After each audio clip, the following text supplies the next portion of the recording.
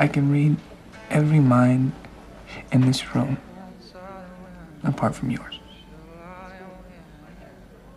Just money, sex, money, sex, cat.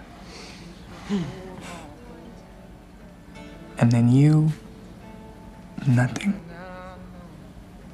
It's very frustrating. Is there something wrong with me? See, I tell you I can read minds, and you think there's something wrong with you.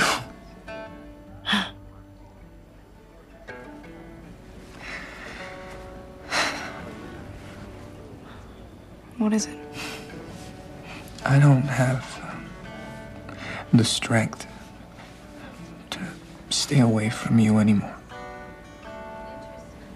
Then don't.